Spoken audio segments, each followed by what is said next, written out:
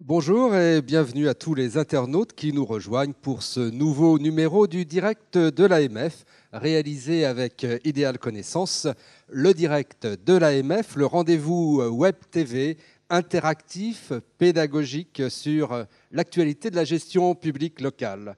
Et aujourd'hui, nous sommes en pleine actualité puisque nous allons parler des communes et des territoires ruraux. Quel avenir? Réforme territoriale, conséquences de la baisse des dotations, accès aux services publics, à la santé, à l'éducation, au numérique, développement économique, logement, urbanisme, transition écologique, mais aussi évolution de l'agriculture, autant de domaines que nous pourrons aborder tout au long de cette émission avec nos intervenants que je vous présente. Jean-Louis Puisségur, bonjour. Bonjour. Vous êtes maire de Pointis-Inard, vous êtes membre du bureau de l'Association des maires de France, président de la commission communes et territoires ruraux de l'AMF. Alors, euh, Pointis-Inard, c'est une commune de 854 habitants dans la Haute-Garonne. Vous en êtes le, maire depuis 1988. Euh, vous êtes également euh, président de l'association départementale des maires de Haute-Garonne et puis, vous êtes le, vice-président de votre communauté de communes, la communauté de communes du Saint-Gaudinoise, donc Saint-Gaudens. Et vous êtes euh, de ce territoire un acteur économique, puisque vous avez été euh, éleveur de bovins laitiers, hein, et donc euh, bien, bien impliqué dans le développement de ce territoire. Et puis, avec nous également, Corinne Ourcade-Hatt. Bonjour, Madame la maire. Oui, bonjour maire de, Bellac. Alors Bellac, c'est dans la Haute-Vienne, j'allais dire dans le Limousin, mais dans la grande région à partir du 1er janvier prochain qui va réunir l'Aquitaine, le Limousin et le Poitou-Charentes. Bellac, c'est 4200 habitants. Vous êtes également membre de la commission communes et territoires ruraux de l'AMF. Alors vous, vous êtes maire depuis l'année dernière, promotion 2014, mais vous avez une longue expérience de la vie territoriale comme fonctionnaire, administratrice territoriale, euh, sous-préfète, euh, et vous présidez aussi euh, la communauté de communes du Haut-Limousin. Alors cette communauté de communes, c'est 18 communes, c'est 12 700 habitants à peu près, hein, donc ça fait une densité de, de 23 habitants au kilomètre carré. Oui. Alors, euh, je le disais, hein, ce, parcours à la fois de, de hauts fonctionnaires, euh, d'élu local aujourd'hui, vous permet d'avoir eu une vision que vous souhaitez positive de l'avenir des, territoires euh, ruraux, de leur évolution, mais à quelles conditions On va en parler. Et puis, on rappelle que, que Bellac, c'est la patrie de, Jean Giraudoux, hein, dans cette période de, de festivals et d'animation culturelle. Cette émission, euh, c'est aussi la, vôtre, euh, chers internautes. Hein. Alors, on attend euh, vos questions. Vous pouvez vous connecter le direct amf.fr, mais surtout, vous pouvez aussi envoyer des, tweets, échanger, et on va évoquer donc tous les, sujets que j'évoquais tout à l'heure en introduction et qui concernent l'avenir des territoires ruraux, même si beaucoup d'entre eux concerne l'ensemble des communes.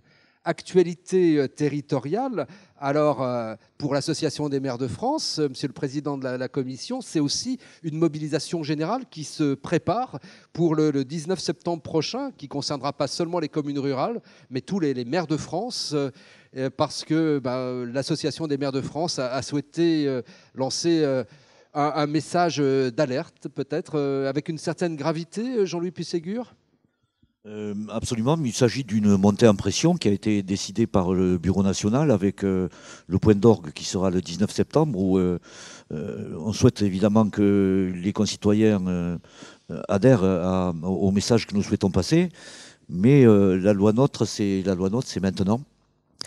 Et notamment demain, où la commission Sénat-Assemblée nationale doit faire ses travaux pour décider de l'avenir de cette loi.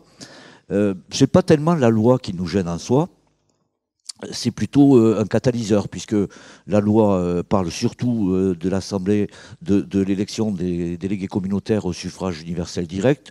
Je ne suis pas sûr que le grand public soit très éveillé par rapport à ça. Pour nous, c'est un signe. Et le deuxième, c'est le seuil des intercos à 20 000 habitants. Ce n'est pas une affaire d'État dans chaque département, puisque dans certains départements, il n'y en a pas, des communautés de moins de, 20 000 habitants, dans d'autres, il y en a un petit peu. Mais c'est un autre signe qui nous donne à penser que ben, la commune va être digérée par les intercommunalités. Et ça, c'est un problème de fond contre lequel nous nous élevons avec force. Alors donc des signaux euh, auxquels vous souhaitez euh, réagir, hein, et vous le dites effectivement, le, marathon de cette réforme territoriale va bientôt s'achever euh, avec cette CMP, commission mixte paritaire entre les députés et les sénateurs, qui doit se réunir demain. Trouveront-ils un accord? C'est vrai que dans la deuxième lecture à l'Assemblée nationale, vous le rappeliez, Jean-Louis Pességur, les députés ont remis cet article qui prévoit, alors pas immédiatement, hein, mais lors des prochaines échéances des élections euh, au suffrage universel direct avec l'obligation pour le Parlement de, légiférer là-dessus. C'est une sorte de, clause de revoyure, mais qui vous fait peur parce que aujourd'hui votre combat, c'est aussi euh, pour l'existence des communes. Alors, ce n'est pas un combat passéiste en même temps, hein, Nourcade, euh, ce combat autour de, la commune. On voit bien quand même que c'est un, point de, focalisation du, débat. Et puis, dans la perspective de cette journée du 19 septembre, il y a aussi la question de la baisse des dotations qui, inquiète les, maires, qui les mobilisent depuis longtemps d'ailleurs, puisque des délibérations ont été prises au fur et à mesure par les conseils municipaux. Oui, au niveau des baisses de dotations, effectivement, les différents conseils municipaux et conseils communautaires ont euh, effectivement voté euh, par rapport à ça, puisque ça a un impact euh, tant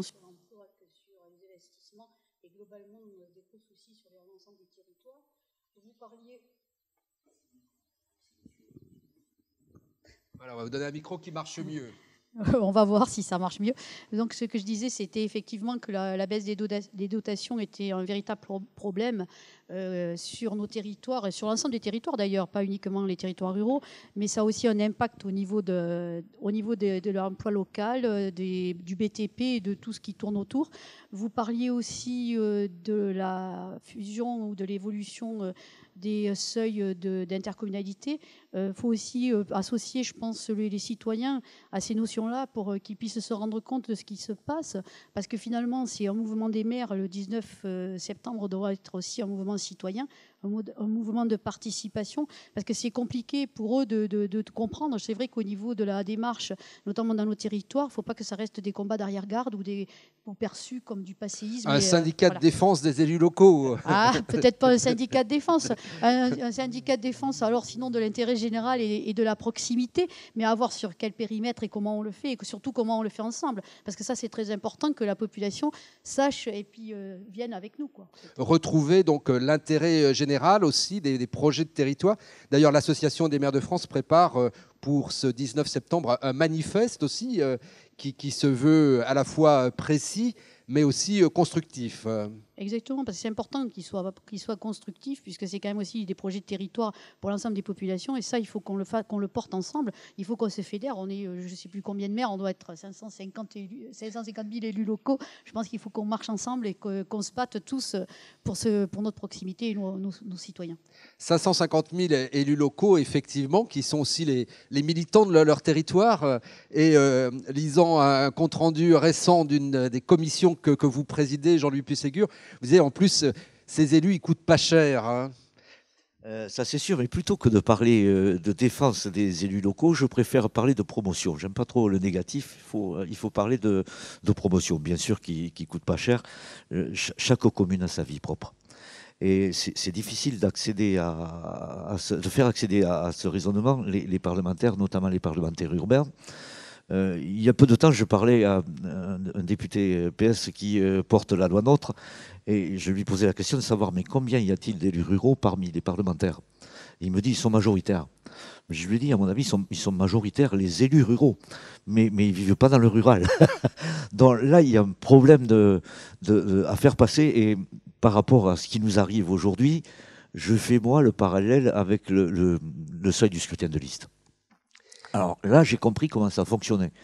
Puisque... Alors ça, c'est la dernière réforme qu'on a connue euh, au moment aussi des, municipales, avec le, fléchage. Euh. Alors là, j'ai compris comment ça fonctionnait, parce que Jacques Pélissard va fait l'amitié de me confier ce dossier pour l'AMF, avec d'autres, mais en fait, je l'ai porté, parce qu'il m'a dit, toi, tu connais le sujet, et moi, je le connais moins.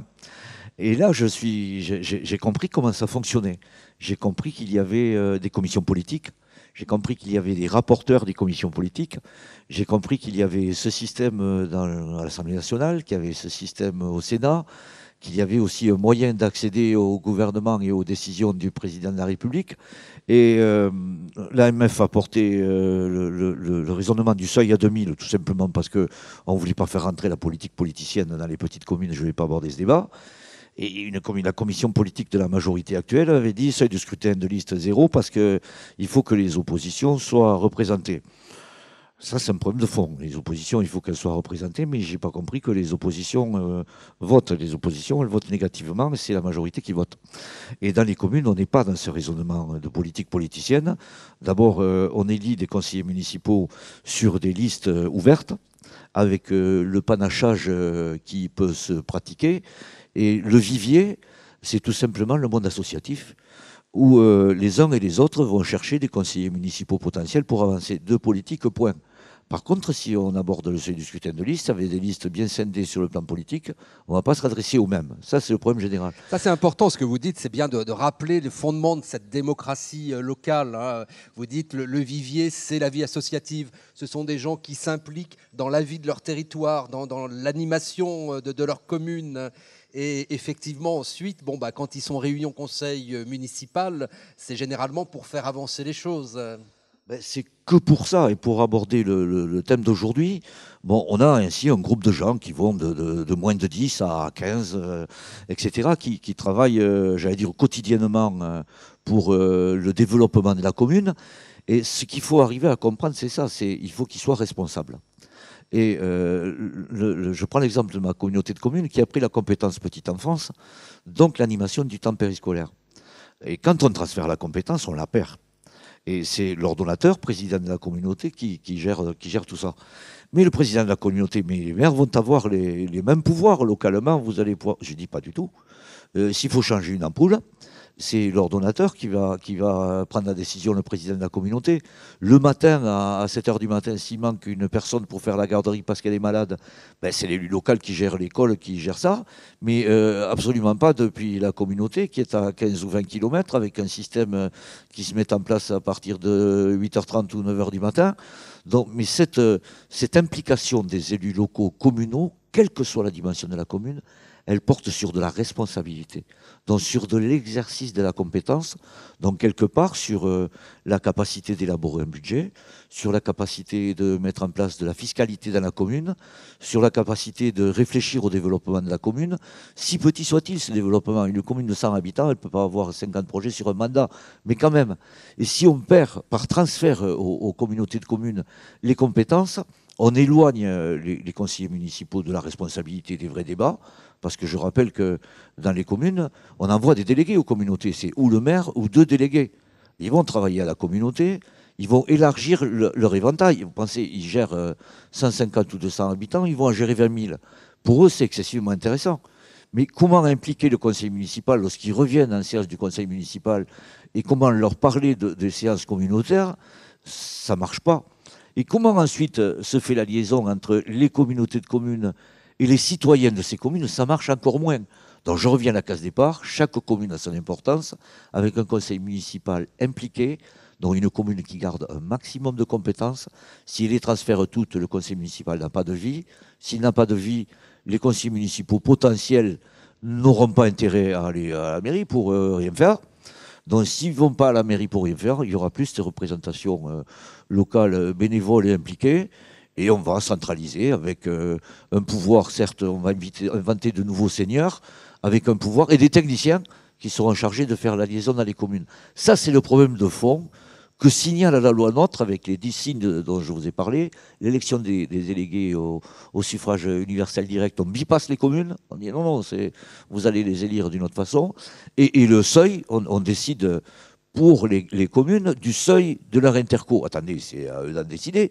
Il y a des intercos qui peuvent marcher très bien à 5000 habitants, il y a des intercos d'immédialité qui peuvent marcher très mal à 50 000, et je prends un exemple, vous, vous allez réunir trois intercos de 7000 habitants dont une de 5000, qui est plombée financièrement parce que les élus ont fait des mauvais choix, ben vous allez plomber les trois en les réunissant. Comment, comment on va faire? Ils n'ont pas les mêmes compétences, ils n'ont pas les mêmes territoires. Donc ces dictats comme ça, applicables euh, quand on les dirige sur le terrain pour les appliquer, ben on se rend compte que c'est pas possible. Donc tout notre boulot aujourd'hui, c'est encore et toujours de faire de la pédagogie auprès des décideurs parlementaires et membres du gouvernement. Mais j'avoue que je m'éreinte un peu parce que j'ai pas d'écho. La preuve, euh, l'Assemblée nationale, une majorité des députés, parmi lesquels les miens, hein, de, mon département, ont, voté pour euh, ces affaires-là. Et c'est un peu pénible. Donc j'avoue, et pour venir au corps du sujet, que l'AMF se mobilise, euh, il, va falloir bouger drôlement et, vite, parce que ça prend un mauvais profil et un mauvais pas. Alors, euh, vous dites euh, également euh, faire comprendre à tout le monde l'articulation entre l'intercommunalité et, les communes. Deux siècles de vie communale quelques années euh, pour euh, l'intercommunalité. Il faut trouver cette nouvelle respiration aussi entre la vie communale et puis euh, l'organisation d'un territoire plus vaste qui peut porter des, projets. Quand on préside la communauté de, communes du Haut-Limousin, comment on s'organise, comment on fait à la fois cette, cette pédagogie et on organise aussi cette nouvelle respiration du territoire. On essaie d'organiser euh, la pédagogie avec euh, ses collègues. Donc, euh, en fait, la première chose qu'on a, qu'on a construit ensemble, c'est un projet de territoire, justement pour que les gens puissent, que les gens puissent s'y retrouver, que déjà les élus puissent s'y retrouver et qu'ils soient aussi, comme le dit Monsieur Pisségur, les, comment dire, les relais, en fait, au sein de leurs conseils municipaux. Là, nous, on attache du prix à ce qu'ils, comment dire, ils répercutent bien au sein de leur propre conseil ce qui se passe en conseil communautaire, puisque bon, nous sommes 37 délégués pour 18 communes. C'est vrai qu'en gros, il y a souvent il y a le maire et un suppléant.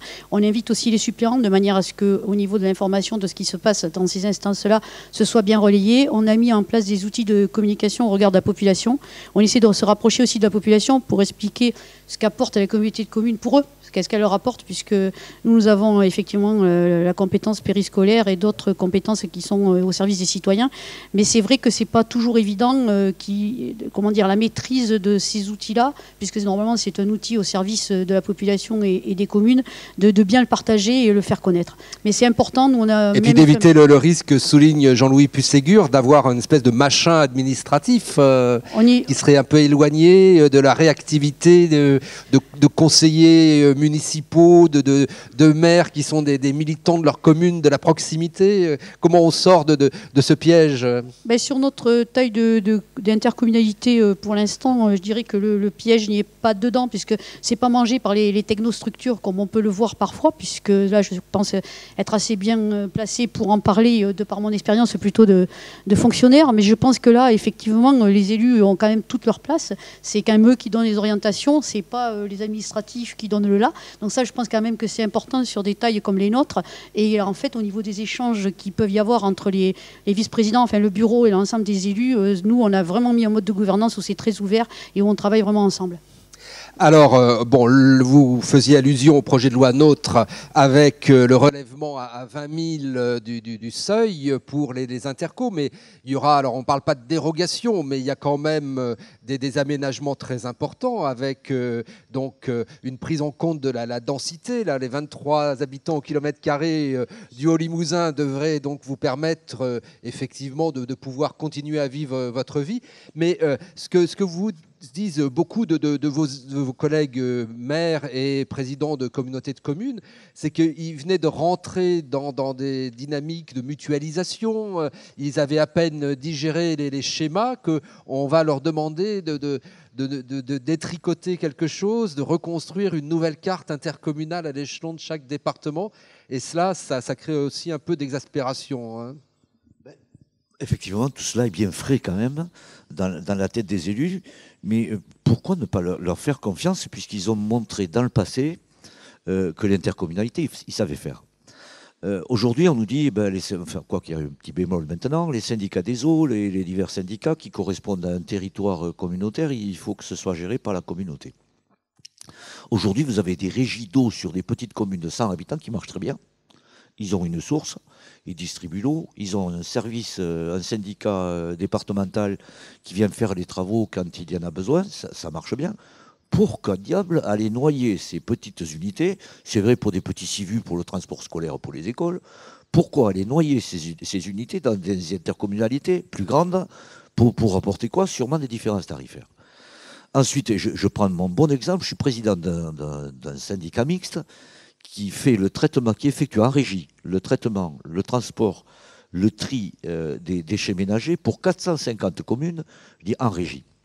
On a 220 agents, on en a embauché 100 depuis 10 euh, ans euh, sur le tri des déchets ménagers, etc. C'est extrêmement productif. C'est très efficace sur le plan financier, c'est un peu compliqué à gérer, c'est un peu comme une entreprise. Il y a 550 communes. On n'est pas sur la dimension intercommunale là, de, 20 000 habitants. On sait faire plus grand quand il faut faire plus grand. Non, la véritable réflexion que je suggère euh, aux parlementaires et à l'État, c'est de laisser les élus libres de transférer la compétence pour ce qu'il faut et de trouver le territoire qu'il faut à la compétence.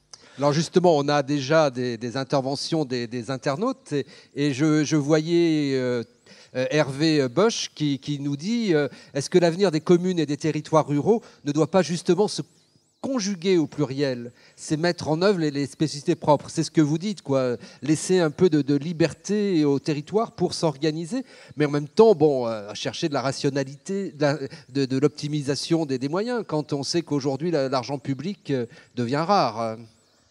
Euh, bon, je salue euh, Hervé, mais euh, ah non, c'est Philippe. à ce sujet, il faut aborder le problème de l'aménagement du territoire dans ce pays. Le comparer peut-être à des pays européens qui ont fait différemment. Moi, je considère que l'aménagement du territoire est un gigantesque échec parce que la population agricole est passée, je, vais aller chercher loin, la population active agricole est passée de 1500, de, de, de 80% en, 1500 à 5% aujourd'hui et encore moins. Donc les communes rurales se sont vidées de la population active agricole et elle a été remplacée par rien, puisque l'activité industrielle a certes euh, profité jusqu'en 1970, mais depuis 1970, la population active euh, industrielle a baissé.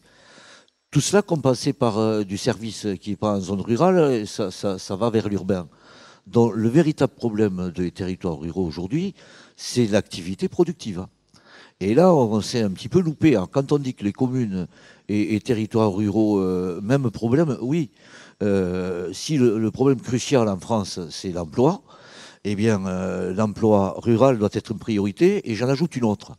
Si on ne peut pas influer sur l'emploi rural, je sais combien c'est difficile, que les entreprises s'accumulent dans l'urbain parce qu'il y a beaucoup de services, il y a beaucoup de facilités, bon, il y a plein de raisons et que c'est difficile d'activer une entreprise dans le rural, mais il y en a, eh bien, euh, quand on en est là, ben, il faut peut-être s'occuper des transports, parce que les transports du rural vers l'urbain, ça marche pas bien, ça prend beaucoup de temps, donc de l'argent, et pour faire parfois, pour faire déplacer des populations rurales de 60 à 80 km vers euh, la zone urbaine productive, ça coûte 3 heures de temps par jour aux gens qui prennent la voiture, qui vont prendre le train.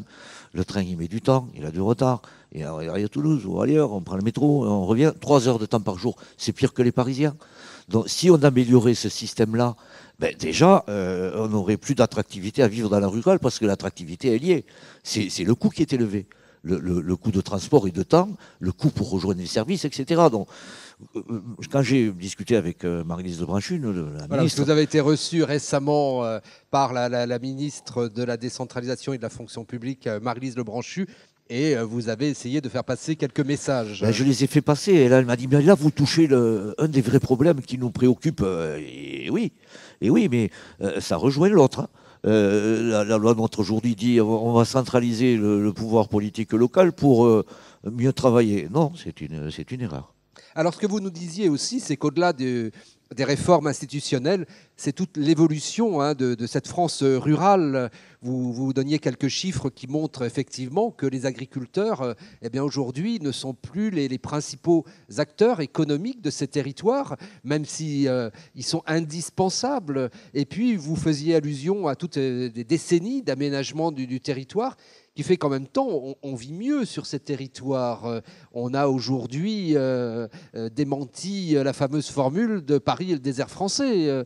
Il y a, ces, décennies d'aménagement et qui aujourd'hui, bon, ben, peut-être doivent prendre un, nouveau départ quand Jean-Louis Pusségur dit bah oui aujourd'hui c'est des problèmes de mobilité, de transport, également de coûts qui apparaissent peut-être moins pour les, habitants de ces communes, mais qui sont très très importants sur leur pouvoir d'achat. Vous pouvez le, mesurer à l'échelle de, votre communauté de communes du Haut-Limousin, à la commune de Bellac, tout cela? Oui, tout à fait, puisque pour nos citoyens, effectivement, on vit un enclavement routier, un enclavement numérique, un enclavement au niveau de la santé. Donc il est impératif que là, les choses bougent. Et c'est vrai que ben, on essaie de, fédérer, euh, nous, l'ensemble des énergies, hein, que ce soit en termes d'élus ou en termes de, citoyens, euh, puisqu'on essaie de monter des actions euh, qui iront peut-être, comment dire, au-delà de, de, ce qu'on prévoit pour le 19 septembre, pour essayer de faire bouger nos territoires, puisque finalement, Peut-être que Paris est le désert français, c'est peut-être pas tout à fait vrai, mais parfois on Ça a été démenti euh, dans beaucoup euh, d'équipements. Oui, certainement dans certains équipements. Euh, dans beaucoup, peut-être pas, et absolument pas sur les routes ni sur. Ben, moi, je peux vous parler du numérique et des, problèmes de, mobilité, quelle qu'elle soit, où nous avons quand même de grosses difficultés, même si on se bat et si on essaie de fédérer l'ensemble des sociétés par rapport à ça. Vous êtes toujours dans des zones blanches, euh, comme on dit, euh, sur euh, l'accès à Internet, accès au très haut débit demandé par les habitants qui veulent vivre à Bellac comme on vit à Limoges ou comme on vit à Paris.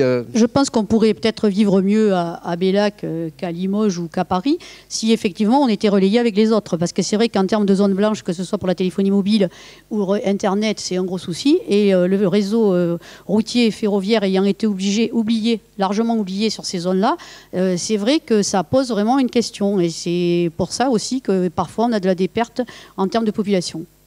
Alors là aussi, oui, c'est vrai que c'est l'attractivité de ces territoires hein, qui se joue.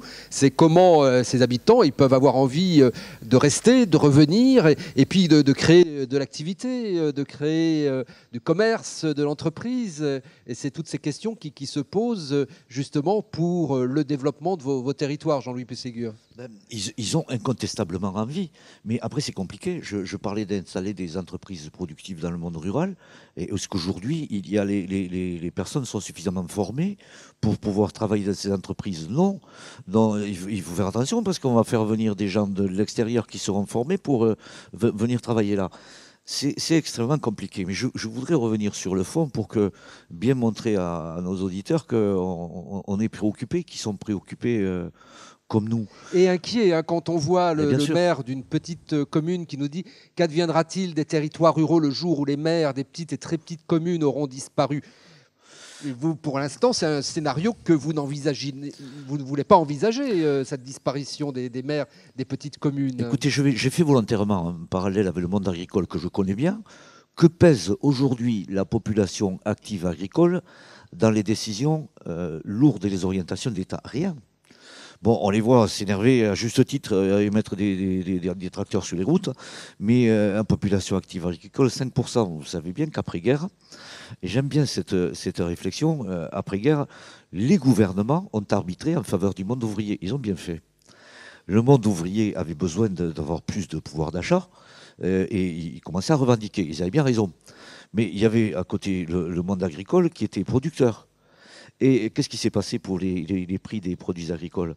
Eh bien, Les gouvernements de l'époque ont arbitré pour nous soutenir les, prix agricoles. Les prix agricoles se sont effondrés, dont les petits et moyens agriculteurs ont, dû dégager parce qu'ils crevaient de faim.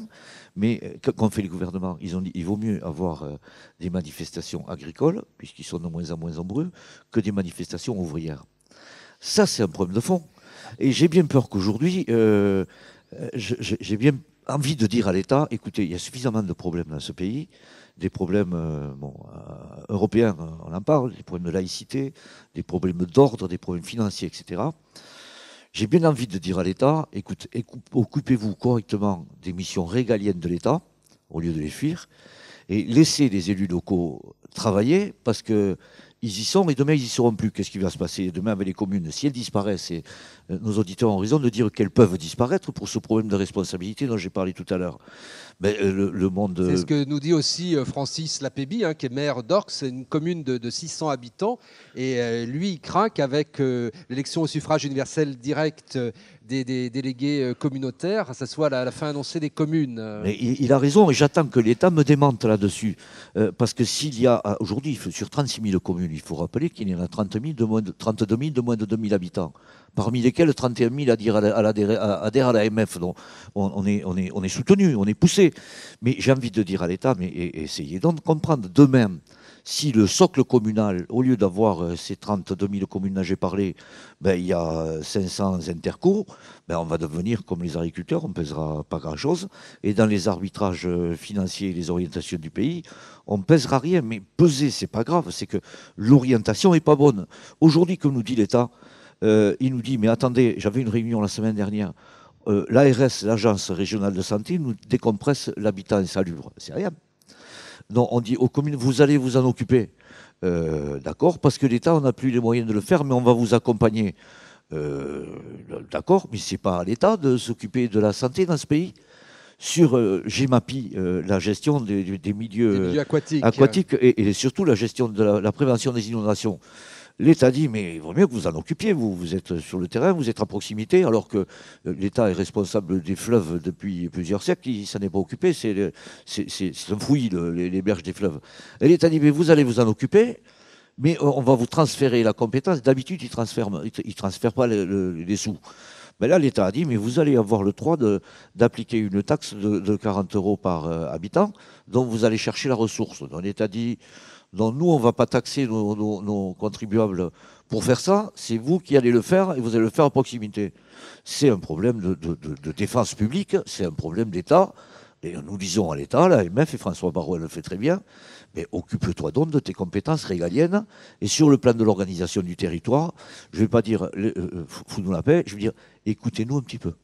Et alors là, on a pas mal de, messages hein, que vous nous envoyez, internautes, que vous nous, envoyez, qui révèlent une vraie colère aussi, il faut le dire, hein, une colère des, élus ruraux. Euh, c'est les exemples que vous venez de, citer, euh, Jean-Louis Pusségur. Euh, c'est aussi bon, cette relation à l'État qui a à reconstruire, hein, cette, confiance qui, semble casser, Corinne Ourcade cassé, peut-être pas, euh, délité, je pense, parce que c'est vrai qu'effectivement, euh, Là, au niveau des, services de l'État, aujourd'hui, ils sont un peu en perte de repère, je pense, et parfois aussi, euh, malheureusement, en perte de compétences, avec toutes les évolutions qu'ils connaissent et toutes les évolutions qui sont encore dans les tuyaux, mais notamment avec la grande région, les grandes régions. Donc c'est vrai qu'aujourd'hui, les relations avec les services de l'État, on essaie de les maintenir le, mieux possible dans la mesure de, de ce qui convient. Mais c'est vrai que quand on prend ne serait-ce que les autorisations d'urbanisme ou autres, c'est très compliqué quand on doit construire son propre service et que finalement, au niveau de la direction départementale des territoires, ils vous laissent un petit peu au bord du chemin. Alors l'exemple là, c'est effectivement hein, que, vous citez, euh, c'est les permis de construire, euh, la loi Allure, et on dit euh, maintenant, c'est plus les services de l'État qui continueront à instruire pour les, communes. Alors bon, c'est vrai que déjà les lois de décentralisation prévoyaient ce, transfert, mais vous êtes obligé d'en assumer complètement la compétence et le coût. Exactement, on en assume euh, totalement la compétence et le coût. Et c'est vrai que c'est pas toujours évident parce qu'il faut aller vite, il faut arriver à construire les choses, il faut sécuriser parce que c'est vrai que les maires sont responsables de beaucoup de choses. Donc il faut aussi euh, sécuriser l'ensemble, des choses. Il faut que les, collègues, euh, comme on disait tout à l'heure, comprennent bien aussi que c'est pas une prise de compétence par la, la communauté de communes, mais que c'est toujours le maire qui sera compétent pour ses permis de construire. Donc il y a aussi de la pédagogie à avoir aussi en interne dans sa propre intercommunalité euh, par rapport à ces transferts de compétences-là. Et c'est vrai qu'au niveau des services de l'État, euh, localement, euh, les gens s'investissent, mais c'est toujours aussi dans des, questionnements pour eux sur leur propre devenir. Donc c'est vrai qu'ils sont dans une phase d'incertitude aussi qui ne leur permet pas d'être très, comment dire, à l'écoute ou d'être toujours aussi ouverts qu'ils devraient l'être par rapport à nos besoins. Alors, incertitude, mais en même temps, tout à l'heure, vous nous disiez, eh ben, au niveau de, de, la communauté de communes du Haut-Limousin, on a fait notre projet de territoire, on a élaboré un projet ça veut dire qu'en même temps, ce qui est important aujourd'hui, c'est d'arriver à se projeter dans cet avenir avec un contexte institutionnel euh, qui, est parfois euh, mouvant, euh, avec des, des, recettes et des ressources qui sont en diminution. comment on arrive à structurer un projet de territoire Comment on arrive à structurer un projet de territoire? En fait, on est parti sur euh, des grands besoins en fait de nos populations, et, euh, en termes culturels, sportifs, euh, investissements pour des sociétés, zones industrielles, zones d'activité, et on a essayé de se projeter sur le long terme, mais en sachant que nos comment dire que nos frontières peuvent bouger, hein, puisque avec nos schémas de mutualisation et les évolutions, le fait que certains collègues veulent venir travailler avec nous, donc c'est vrai qu'on essaie aussi de se projeter sur euh, notre, euh, comment dire, notre périmètre, mais aussi sur des périmètres évolutifs, euh, puisque c'est vrai que dans le cas du schéma de mutualisation, sur certains champs, on a fait des déclinaisons à géométrie variable pour prendre en compte en fait ben, le nombre de kilomètres qu'on doit couvrir, le peu de densité que nous avons, de manière à ce que tout se passe le mieux possible pour les politiques publiques qu'on veut porter, et aussi de fédérer ben, les, deniers publics qui nous restent, hein, parce que c'est vrai qu'en termes d'investissement, c'est pas toujours évident avec les baisses de dotation, l'augmentation de certaines charges, puisqu'il y a quand même des charges incompressibles qui augmentent. Donc c'est vrai qu'on essaie de se projeter à la fois sur une dynamique, mais qui est aussi de la gouvernance, et aussi sur une dynamique d'investissement se projeter. Et euh, justement, là encore, on a euh, des propositions aussi des, internautes. C'est par exemple Jean-François Duniac euh, de Rennes qui nous dit eh ben, peut-être qu'il y a des choses, des organisations à réinventer avec peut-être une mise en réseau des communes, des, utilisations plus simples de, la communication, des dynamiques à créer avec des, réseaux habituels, sainissement, sécurité, petite enfance jouer les services supports.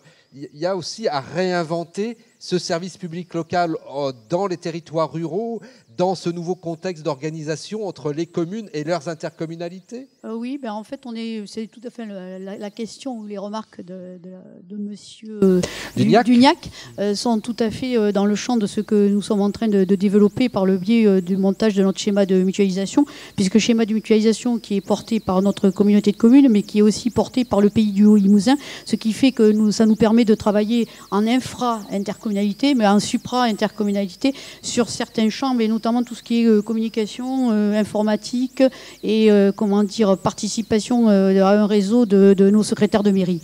Donc c'est vrai qu'il y a des comment dire, on essaie d'avoir une intelligence de territoire sans faire trop bouger les gens parce que c'est vrai que les éloignements font qu'on va pas mettre toutes les personnes sur la route. Mais c'est vrai qu'on a fédéré au niveau de la petite enfance, on a essayé de fédérer au niveau des réseaux de lecture, on essaie de, comment dire d'être intelligent à plusieurs et de rationaliser, même si j'aime pas ce terme, à la fois nos personnels et nos finances.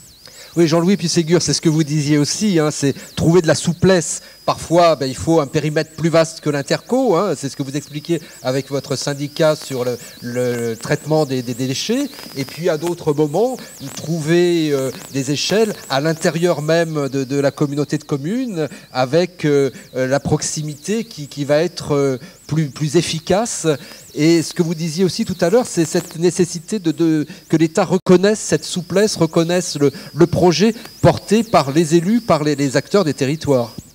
dans le rugby, on a l'habitude de dire à un moment donné. à un moment donné, il va bien falloir que on aborde notre euh, rencontre d'aujourd'hui sur le plan financier. Euh, parce que c'est là que ça blesse. Qu'a fait l'État? Ben, l'État, il a euh, éliminé euh, petit à petit, étouffé ses services de proximité. Euh, la RGPP, je ne vais pas vous en faire un discours. Et il a, il a abandonné la proximité pour faire de la centralisation de ses services, s'éloignant du terrain et réduisant l'aspect financier. Et qu'est-ce qu'on est en train de faire aujourd'hui sur le plan du socle communal et intercommunal? On est en train de dire, et la question c'est celle-là, est-ce qu'il ne faut pas que ce soit les communes et les intercos qui rapproche les services des habitants? Et là, il faut faire attention, parce qu'il ne faut pas retomber dans ce qui pourrait être un piège et un coût important par le contribuable, parce que euh, ramener, comme l'a dit euh, ma collègue, la communication, ça c'est facile, mais ramener des services de proximité, ça a un coût. Et il faut être excessivement vigilant dans les zones rurales. Alors, Par exemple, on, va, prendre un exemple, les, maisons de service au public. Ah, ça, il y a un, objectif, là, 1000 maisons de service au, public. Ah, ça, c'est un bon sujet. Où on essaie de, réorganiser justement euh, l'accès à certains services. Alors, ne me faites pas perdre de vue ce que je voulais dire au sujet de, des moyens. de, l'organisation de l'État. Enfin, une petite idée. J'attends que les membres du gouvernement me, me démentent à ce sujet. Il faut que j'y revienne. les maisons de services publics, 1000, ça, ça pèse. Il y en a 360 à peu près aujourd'hui, relais de services publics. Alors, on va dire 4 ou 5 par département.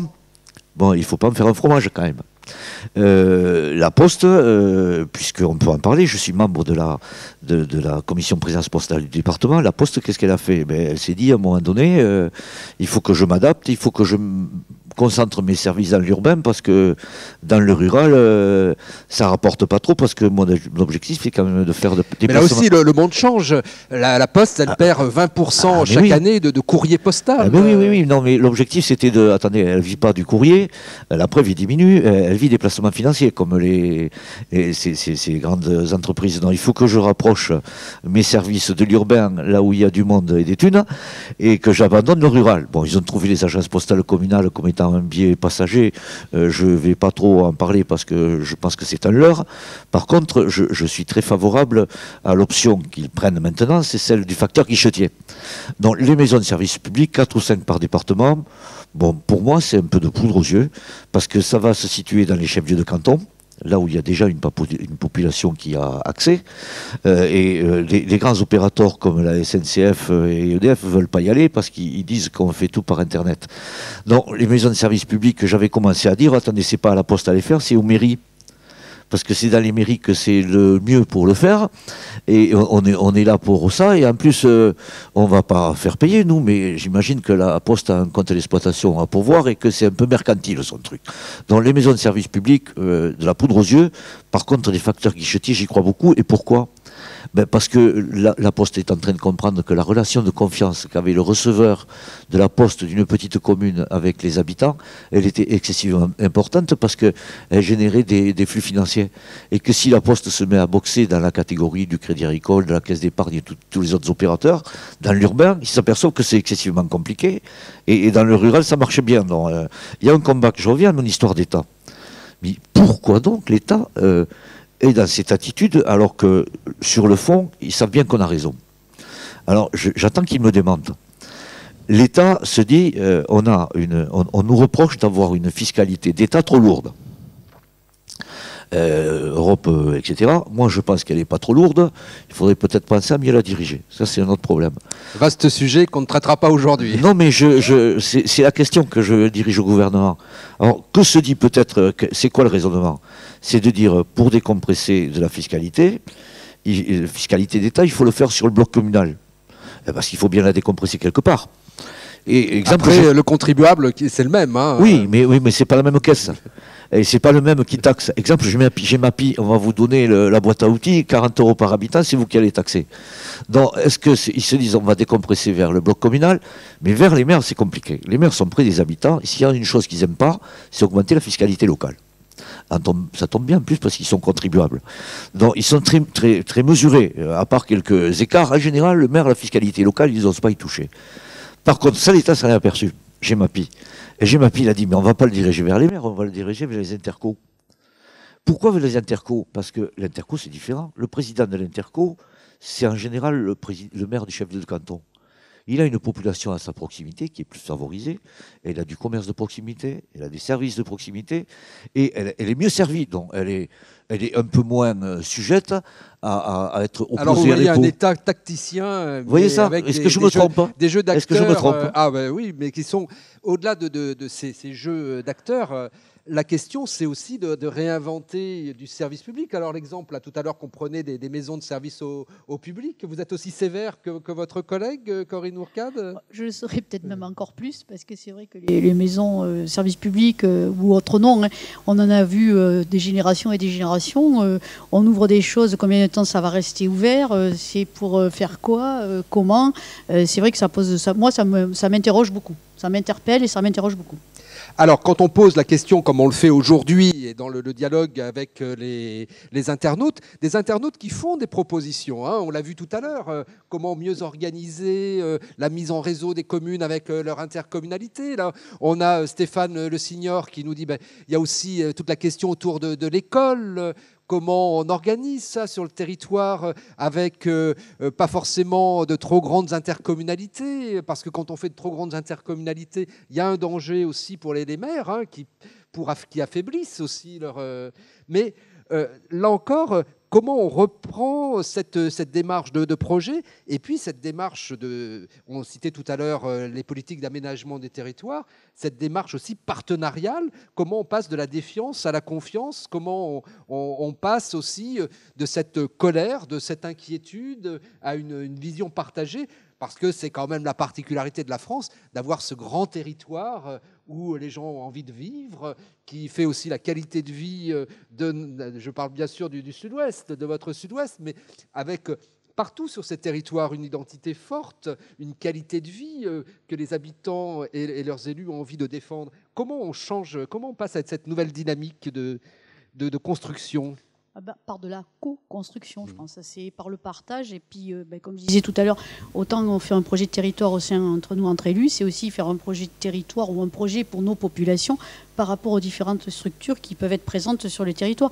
Après, il faut aussi voir qu'est-ce qu'ils mettent dans la corbeille de la mariée, parce que c'est vrai qu'il ne faut pas toujours que ce soit les collectivités qui soient euh, perdants-perdants ou gagnants-gagnants. Voilà, je pense qu'il faut qu'il y ait un jeu qui ne soit pas un jeu de dupes. Et c'est vrai que quand je vois les, questions euh, qui sont posées, notamment sur la partie scolaire ou autre, euh, parfois des grosses responsabilités reposent sur les maires, notamment la personne qui disait qu'au niveau des élus de proximité, il y en a qui jouent un drôle de jeu par rapport au RPI ou autre. il y a aussi les structures de l'éducation nationale qui parfois n'ont pas euh, justement ce jeu de co-construction ou de relations transparentes qu'il devrait y avoir. Et finalement, les choses, euh, on vous met devant euh, les faits accomplis. finalement, vous êtes un petit peu démuni quand vous avez ben, une fermeture d'école qui se projette ou une fermeture d'une classe de collège. Et c'est vrai que moi je dis, vous disiez la défiance, mais je pense qu'il faudrait qu'il y ait un minimum de, de confiance ou à défaut de confiance, au moins de transparence dans les décisions et d'être associé euh, beaucoup plus en amont que ce que c'est aujourd'hui. Et ça, c'est un problème aussi euh, de ressources. On voit souvent que les politiques contractuelles, l'État, euh, dans les, contrats de plan État-région, respecte pas toujours sa parole sur l'exécution. On a vu aussi euh, que des dispositifs sont annoncés, mais sur les, deux premières années, mais après, les financements ne, suivent pas nécessairement.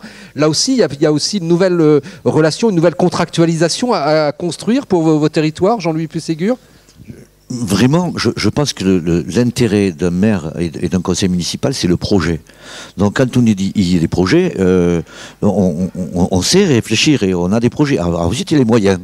Donc j'aborde juste, je dis deux mots sur la réforme de la DGF, indispensable euh, et utile, mais difficile.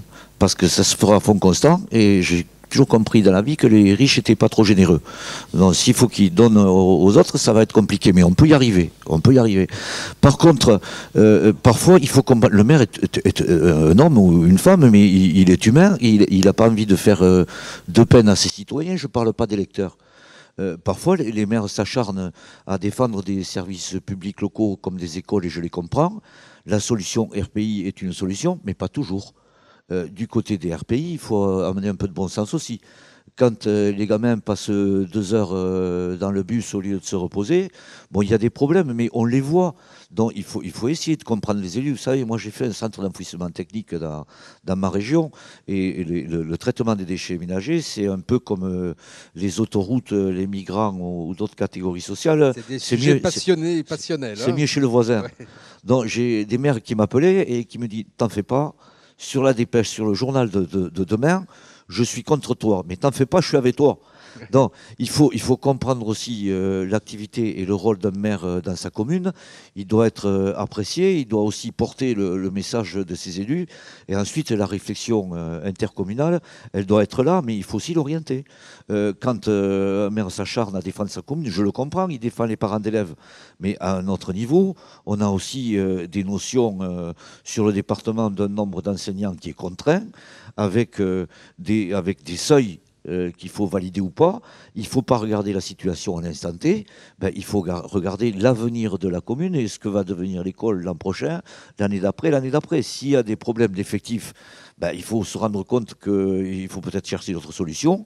Par contre, si on est en deçà du seuil et que l'effectif se projette en étant d'augmentation, ben, on n'est pas fou, euh, on va, maintenir l'école. Donc je pense que les maires sont raisonnables, sont capables de raisonner entre eux. Bon, mais une fois de plus, je dis attention aux dictates parce que c'est pas acceptable.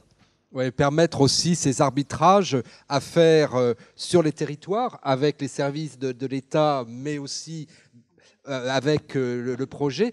Et puis ce que vous dites euh, fait écho à ce que nous dit le, maire de, la commune de Bouzel, Guy de, de Gors, qui nous dit, bah, c'est vrai qu'on vient de vivre la, canicule, bah, ces élus, ils sont allés bénévolement prendre souci des, personnes âgées, des plus vulnérables. Il y a toute cette animation de territoire qui, qui est quand même un, bien, un bien commun aussi. Ben nous, à ce, sur ce, sujet-là, on l'a animé effectivement euh, quelques conseillers municipaux, mais aussi euh, les associations caritatives. C'est vrai qu'il y a eu un véritable réseau qui s'est mis en place et c'est très important parce que c'est vrai qu'au euh, niveau des, municipalités, les personnes sont connues. Quoi. Enfin, même quel que soit un petit peu le territoire, les, personnes sont connues. Elles vont rencontrer les personnes âgées ou pas âgées, isolées aussi, hein, parce qu'on n'avait pas été voir que les personnes âgées. Et c'est vrai que c'est important, mais il y a aussi la Fédération des énergies des, associations qui sont très importantes par rapport à ces sujets-là notamment. Et là, justement, le, le, les territoires ruraux ont à parler à la France urbaine pour dire, ben, nous, on a gardé et on développe aussi. Euh, quand on parle beaucoup du vivre ensemble, on sait le, le mettre en œuvre, le vivre ensemble. Bah, écoutez, on ne fonctionne pas pareil. Lorsqu'on m'amène à comparer une petite commune et une grande commune, je dis quoi? Ben, Une petite commune, c'est une commune qui a un, un secrétaire euh, de mairie, et une grande commune, c'est un, une commune qui a un DGS et des services. C'est pas du tout pareil. Euh, on, parlait tout à l'heure de, la solidarité. J'ai rien contre les DGS. Euh, la preuve, je travaille très bien avec mes collaborateurs. Mais la solidarité, ça s'organise. Euh, souvent dans une commune, le maire, l'adjoint ou un conseiller municipal, ils sont sur les lieux de l'accident ou de l'incendie avant les services de secours, avant les pompiers. Euh, ils, sont, près des, gens quand il y a un, un accident mortel, euh, un décès ou autre. Mais ça, dans la grande ville, ça n'existe pas. Mais à juste titre, euh, les services sont faits pour ça. Dans la petite commune, ça n'existe pas, et tant mieux. On, garde cette, humanité qui est nécessaire. Et j'allais dire, quelle est la première, euh, la première euh, qualité d'un maire? Le sang-froid. Euh, c'est pour ça que je, je, je pense qu'il faut bien former les maires et qu'un maire il peut pas débouler comme ça dans une commune sans avoir été conseiller municipal ou autre. Le sang-froid et avoir un peu de le, le, cuir tanné. Et la deuxième, aimer les gens. Le sang-froid et puis euh, ça fait partie aussi euh, de ce qui lui est reconnu par la loi dans cette responsabilité de représentant de l'État. Oui, mais enfin officier de police judiciaire, ça ça dure pas longtemps parce que s'il y a un quelconque meurtre sur, meurtre sur nos communes, ça arrive pas souvent. Et il me tarde que les gendarmes arrivent et le procureur parce qu'il faut vite passer la on n'est pas des spécialistes. Hein. Donc, mais ça, ça, ça, compte beaucoup, cette, notion de solidarité et, de bon sens. Mais, mais, mais, dans les villes, ils, ils peuvent, ils peuvent pas l'avoir parce qu'ils sont trop nombreux. Dans les communes, on a la chance de le garder parce que c'est à notre échelle. Et c'est ça le plaisir d'être maire quand je vois. Vous entendez des maires dire qu'ils en ont marre. Euh, ben souvent, c'est la passion qui nous anime. On en a marre de la paperasse, on n'est pas fait pour ça, etc. Mais c'est la passion qui nous anime. Si on est là, c'est qu'on aime les gens. Un, maire qui aime pas les gens, c'est pas la peine qu'il y aille parce qu'il va vite s'apercevoir que ça va pas marcher. Si on aime les gens, ben, il faut nous laisser aimer les gens pour euh, qu'on trouve à notre échelle ce qui est le mieux pour eux. Alors, ce qui est important aussi, et en vous entendant, c'est qu'on se dit, bon, bah, les maires sont en colère, mais ce n'est pas non plus un discours de, grincheux qui serait euh, seulement dans, la défense d'une vision passéiste. Mais vous dites, c'est parce qu'on aime nos territoires. Euh, vous, vous parlez, euh, Corinne Orcade, du projet. Et justement, euh, Claire Maury euh, nous dit, mais les, les, communes nouvelles, ça peut être aussi euh, une voie à explorer, à développer pour répondre à certains territoires ruraux et à leur évolution Là, par contre, au niveau des, des échanges qu'il peut y avoir avec euh, certains de nos collègues, certains le pensent, puisque c'est vrai que nous, sur notre intercommunalité, des collègues sont en train de réfléchir à construire une, co-construire une commune nouvelle pour leur territoire, mais c'est pas dans le sens de se rendre visible au sein d'une future grande intercommunalité. C'est plus euh, là une continuité territoriale, l'envie de faire des choses ensemble que de le voir pour contrer en fait une grande intercommunalité. C'est pour eux c'est un avenir euh, commun qu'ils sont en train de construire. Ils sont deux, trois à se mettre ensemble pour faire une commune, une commune nouvelle. Après, euh, moi, quand c'est dans le contexte ou le concept de se dire que c'est pour, euh, comment dire, contrer une grande intercommunalité, ça peut être plus problématique parce que là, c'est pareil, il faut construire quelque chose pour les citoyens, pour la population et avoir envie de faire quelque chose ensemble. Et ça, je pense que c'est un des fondamentaux. Et c'est vrai qu'au niveau des communes nouvelles, chez nous, c'est en train de bouger un petit peu. Il n'y en a pas beaucoup sur le territoire, hein, mais c'est en train de, de c'est en cours de réflexion. Alors, on avait eu une émission euh, qu'on avait consacrée aux communes nouvelles que vous pouvez d'ailleurs euh, revoir euh, sur le, site internet hein, et qui était très, très pédagogique, expliquer comment on met en œuvre cette nouvelle forme de vie communale. Ce qui est important, là encore, vous avez utilisé le mot de co-construction de projets. Et, on comprend que bah, dans, cette euh, virulence hein, euh, qui se manifeste aujourd'hui de la part euh, des, élus, des maires, des territoires ruraux, il y a cette envie aussi de, construire, mais de construire sur de, bonnes bases. Et c'est certainement aussi un, message que vous voulez faire passer le, 19 septembre prochain. je, veux faire passer le, problème que vivent les maires aujourd'hui, surtout cette prise de conscience qu'ils ont par à coups successifs. Ils ont compris, j'allais dire enfin compris, qu'on leur voulait du mal. Et euh, effectivement, sur le terrain, euh, ça ronfle pas mal. Alors je reviens sur les communes nouvelles pour dire, euh, tu es contre les communes nouvelles Pas du tout, mais je pense que c'est pas la saison et que c'est contre-productif. Ah, ça dépend des territoires. Il y a des non, mais à, l'heure de la loi NOTRe, et je reviens sur tous les arguments qui visent à, démolir les petites et moyennes communes en disant qu'il faut faire des grandes, je, mon discours c'est de dire chaque petite commune est utile. Et là-dessus, on arrive avec le débat sur les communes nouvelles en disant mais on va les réunir. Je dis c'est bien, mais c'est surtout bien parce que c'est libre. Donc je dis pourquoi pas? Mais c'est contre-productif par rapport à mon discours parce que je dis chaque petite, petite commune, il faut la garder, il ne faut pas les réunir. Je ne suis pas du tout contre les communes nouvelles, c'est des solutions. Tout comme l'intercommunalité est une solution. Forcément qu'elle est une solution. Tout comme les CIVOM, les CIVU, tout ce qu'on a fait sont des solutions. Tout comme les PETR et les pays sont des solutions. Donc je, reviens à ce que je disais tout à l'heure. Il faut que les élus prennent, transfèrent la compétence vers ce qui est le plus utile les pays aujourd'hui, je suis désolé, si vous mettez 20 communes pauvres euh, en intercommunalité, vous allez faire une interco pauvre. Bon, certes, on a mis du CIF, c'est-à-dire euh, de la carotte pour euh, à chaque fois qu'on donne une compétence. Donc il y a un peu de sous qui viennent de l'État, mais comme l'État n'a pas de sous, ça ne va pas durer longtemps. Donc il faut faire attention à ça. Le PETR est une excellente solution pour le développement économique. Attendez, chaque interco ne peut pas faire sa zone industrielle. Ils se font compétition sur les entreprises. Parfois, elles sont à moitié vides. Ça ne va pas le faire. Donc sur le développement économique, le pays est une meilleure échelle. Sur le tourisme, vous ne pouvez pas chacun aller promotionner votre clocher ou, votre, ancien château. Il faut se mettre ensemble, travailler avec les tours opérateurs, organiser euh, les journées, organiser aussi les soirées pour que les, gens... Donc ça, c'est de la notion de pays. Mais quand on focalise une fois de plus sur l'interco et surtout avec un seuil de 20 000 habitants, c'est pas la solution idoine. C'est pas comme ça qu'on voit le problème.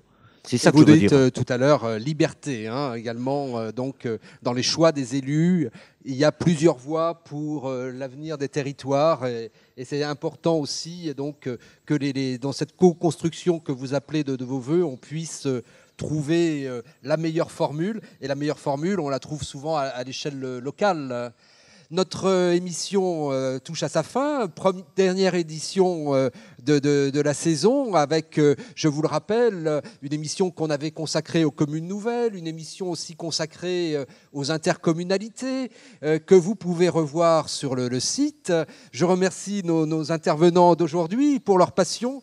On entend aussi à travers tous les, les, messages que vous avez passés la colère, l'inquiétude hein, des, élus euh, des territoires euh, ruraux et certainement que le manifeste que prépare l'Association des maires de France, cette mobilisation pour le, 19 septembre prochain sera l'occasion pour vous euh, de passer des messages. Merci à nos intervenantes et intervenants, et puis merci à vous, euh, chers internautes. On vous donne rendez-vous à la rentrée. N'oubliez pas, avant de nous quitter, de remplir le questionnaire euh, de satisfaction qui nous est bien, utile pour euh, préparer et améliorer encore cette émission de, de Web Télé. Bon été à tous et rendez-vous à la rentrée.